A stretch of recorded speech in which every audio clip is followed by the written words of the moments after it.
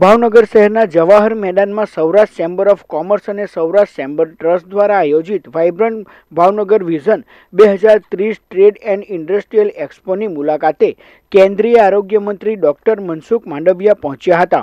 આ એક્સપો હેઠળ વિવિધ ઉદ્યોગપતિઓ એક જ સ્થળ પર એકત્રિત થઈ વર્ષ બે હજાર ત્રીસ સુધી ભાવનગરના ઉજ્જવળ ઔદ્યોગિક ભવિષ્યનું ચિંતન કરી રહ્યા હતા. જેમાં સ્થાનિક યુવક યુવતીઓને પણ અહીં જ નોકરી રોજગારી મળી રહે તેવો પણ પ્રયાસ કરવામાં આવી રહ્યો છે.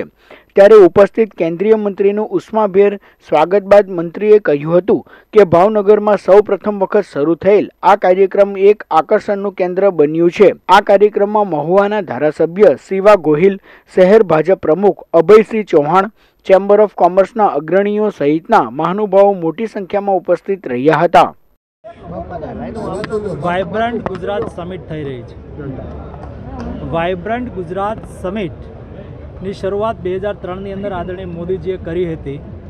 ત્યારથી લઈને આજ સુધીની વાઇબ્રન્ટ ગુજરાત સમિટે રાજ્યની અંદર મૂડી રોકાણને આવકાર્યું છે, મૂડી રોકાણ વધાર્યું છે અને રાજ્યની અંદર ધંધા, રોજગાર અને ઇન્ડસ્ટ્રીઝ ડેવલપ થઈ રહ્યા છે.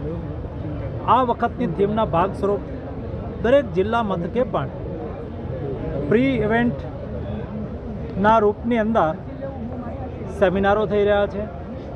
આજે હું ભાવનગરના મહાજનોને અભિનંદન પાઠવીશ કે તેમને પણ ભાવનગરના ઇન્ડસ્ટ્રીયલ વિકાસ માટેનું વિઝન બે હજાર ત્રીસ તૈયાર કરવા માટેનું આયોજન કર્યું છે.